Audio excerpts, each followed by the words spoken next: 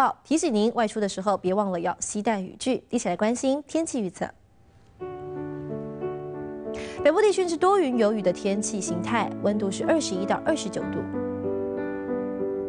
在东部地区呢是阴时多云短暂阵雨的天气形态，温度最高来到二十八度。在中部地区呢是多云短暂阵雨的天气形态，温度是二十三到三十度。在南部地区呢也是多云短暂阵雨的天气形态，温度最高来到三十度。离岛地区呢，温度是十六到二十八度。